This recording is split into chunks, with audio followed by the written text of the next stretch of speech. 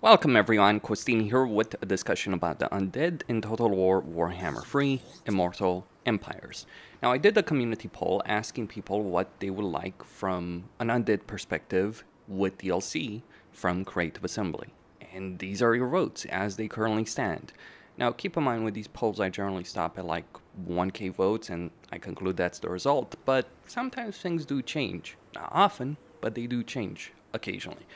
And so the race stand up at the bottom is the Tomb Kings. I can understand it. The Tomb Kings kind of don't need a rework, but they do need a rework. Their limited army capacity is not great. Their campaigns are not really that fun. Arkhan is better, but plenty of issues with respect to that. Although people do like Settra more than they like Arkhan, but who doesn't like Settra as a character at the end of the day? It's just a shame that his campaign is intolerable at the beginning. And I'm not saying it's difficult. Uh, for me, the idea of difficulty doesn't really matter. You can manage any campaign if you know what you're doing, regardless of it. It's just a bad design to have only one army for 15 turns and then have to deal with this the canopic jar situation. Oh boy, do I love the canopic jar situation. It is so much fun having a resource that's limited to 30 because it doesn't matter what kind of battles you fight, you'll always only get 30 canopic jars in your campaign. That's great. That really is great CA, like genuinely, not at all. So there's a lot of problems in this campaign because of like just the design. And the problem is once you overcome that early game situation, it becomes a steamroll. So in every Tomb King campaign, that's the kind of situation you're dealing with. Khalida's campaign is like this, Settra's campaign is like this, Khatep's campaign is like this. Arkhan is different, but Arkhan's campaign is basically a steamroll from turn one. So not that, all that much better in any real way. So you end up with a race that steamrolls and trivializes the game in mid-late game and suffers very much early on. Also, really bad victory conditions, the books on Nagash aren't great. Yeah, I think Tomb Kings need an update they haven't gotten any. Like we've seen DLC races get updates. We've seen the DLC races get new content. The, the Tomb Kings do need new content. They got some free stuff to be sure, but they need a proper DLC update to work in the Warhammer 3 meta. In the second worst position, or at number three, depending on how you want to view it, it is the Vampire Coast. I do certainly think the Vampire Coast, out of all of the undead races, needs improvements the most.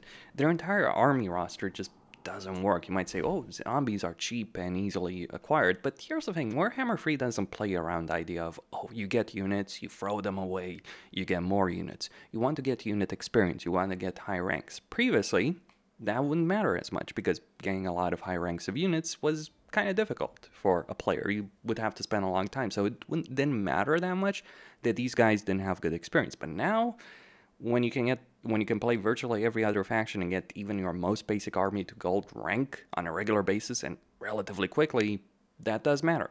It matters in the early game, it matters in the late game. Sieges are freaking nightmare with these guys because, yeah, you have plenty of ways to blow up the walls and blow up units behind the walls, but you don't have the infantry to secure what's behind the walls with the exception of Depth Guard. And Mournguls, I guess you could say, about that their artillery is not even the best in the game. You might say, oh, their artillery are great. Yeah, they only have one Queen Bess, and beyond that, they have cannons and superpower mortars. The mortars are great, but everything else, mm, kind of meaningless. You can make it work, don't get me wrong, but they do certainly need an overhaul. A lot of their mechanics were taken from other races. Like you have the office system, which was replaced for every other race in the freaking game, except Wood Elves for whatever reason, and it's not really a great mechanic for them either. Um, you have shipbuilding, which was then taken by other races to make the Beastmen Horde armies, or to make, um, or to improve Black Arks, and Dark Elves are masters of the sea, as it is right now because of how that system works. You have X, Y, and Z system that was just a testing ground, really, for Creative Assembly, and then they took those systems and improved them for other races. And that's why the Vampire Coast needs an update. Will they get one? I do certainly hope so in terms of the unit roster. Not necessarily the Legendary Lord roster, and they kind of already put every character they could think of, and even one that wasn't, and Cylostra. But still, yeah, they absolutely need an update. And while a lot of people didn't care, and these guys almost lost to Tomb Kings on the poll, by the way. In fact, for a long time they did lose, only recently they went up by 1% versus the Tomb Kings in terms of the lowest priority.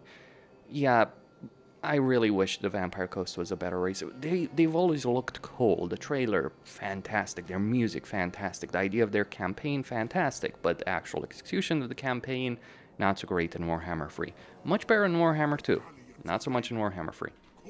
And number two, in terms of the community priority, is the vampire counts. I'll be honest with you guys, I really don't think the vampire counts should be the highest priority on this list of existing races.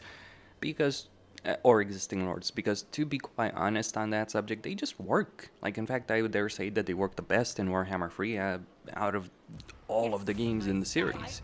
I didn't play much of them in Warhammer 1 and 2. I mean, I tried them, it was just not really a great experience in a lot of ways. Whereas in 3, the level of power that you do have in this campaign, the diplomatic power, the economic power, the vassalization power, the unit roster, the hero roster, the lord roster, it's powerful. And the campaigns are unique. The Kemmler and Ghorst may not necessarily be that fun, and Mannfred is Mannfred, but hey, you got Vlad and Isabella as two really great campaigns, or one really great campaign, because it's basically the same campaign, it's just down to the different faction effects. I recommend starting with Isabella as the legendary lord and Vlad as the legendary hero, much more powerful than otherwise. Still, really good situation with them. Can't really complain, but I guess I understand the community's perspective on this. The Vampire Counts only got one DLC. One. They got some stuff with the Vampire Coast when that came out, but they've only gotten one proper racial DLC, and it just added units and a hero and a couple of other things, right? They got a more significant update with the Bloodlines effect, to be sure, but all the same, they've been left behind. With the exception of the Grim the Grave, which is one of the worst DLCs that CA ever released. Certainly the least interesting DLC. I wouldn't necessarily say it's bad, but um, I would not play either Volkmar's or Ghorst's campaign at the moment. I'll just leave it there. You can make up your mind about that. So suffice to say that they could really use more content. Not necessarily a racially rework, though I would certainly argue that in favor of making the individual legendary lords more unique. And I don't know, with Vlad and Isabella, I kind of feel it's a bit off that Isabella is the better legendary lord.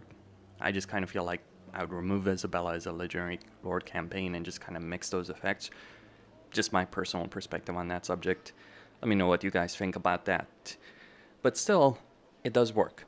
Can't complain interesting campaigns, interesting campaign mechanics. I wish we could get blood kisses in a different way rather than sending our very powerful heroes that can solve freaking armies and to assassinate someone on the campaign map because that's not particularly interesting. But outside of that, really, I can't complain about the situation we have with the vampire counts. Because uh, compared to many other races, including the ones on this list, compared to many other legendary lords like Khatep, etc., Khalida, you can talk about um, uh, you can talk about Cylostra or even for Harkon. Compared to those, yeah, I don't think this should be a priority for CA, but I understand where the community is coming from. They want more content for this race. And then finally, at number one, it is Nagash, the Supreme Lord of Undeath. Or so he would like to believe, really. I mean, he did create necromancy as we know it. But yeah, he's, uh, he's a character. He's a very, very arrogant character. In fact, he's probably the greatest evil character in the entire setting. For good reason. For many, many good reasons. There's a mod that does add them in the game, and this is what I have. Now, for my part, I do think Creative Assembly should do things in a very different way, but the concepts are like getting get gash back, get his power back, make him even more powerful after devouring the god of the underworld, basically Morr or the equivalent for the Tomb Kings. I mean, it's the same god, apparently, based on the lore.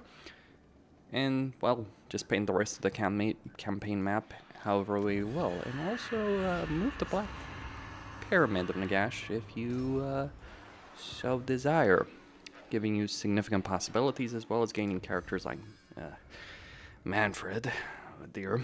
But you get Krell, Krell you get Nef, uh, Neferata, uh, you get Vlad, you get a bunch of other characters available. That would be great. And how you would deal with Nagash, well, based on what I've heard, Creative Assembly is going to launch a full expansion that's going to be priced probably the most expensive in the history of the game. We shall see how CA decides to do that. But this is what people want. Nagash would have units from all of the undead factions, so Coast, Counts, Tomb Kings. And hopefully, he would also feature rework for all three races. But this is the one thing that people want the most in terms of DLC from Creative Assembly with regards to undead factions. And the information out there is he is coming and he will be the last DLC or a proper expansion. You know, it's been a long time since CA has done an expansion, one that added a different map, that is. We had Mephas Troy, sure, you could argue that what we're getting with um, Mesopotamia is similar to that, and Pharaoh, however much that will be played, but um, a proper expansion with a different map, which I imagine they'll do it. Like the, I imagine they'll have him in Immortal Empires, but I also imagine that they'll do a more focused map on his quest, like Khemri and Sylvania especially. But we'll see the journey to bring back Nagash. That is all. Costin signing out. Don't forget to subscribe, like, and enable notifications, and let me know what you guys think about all of this.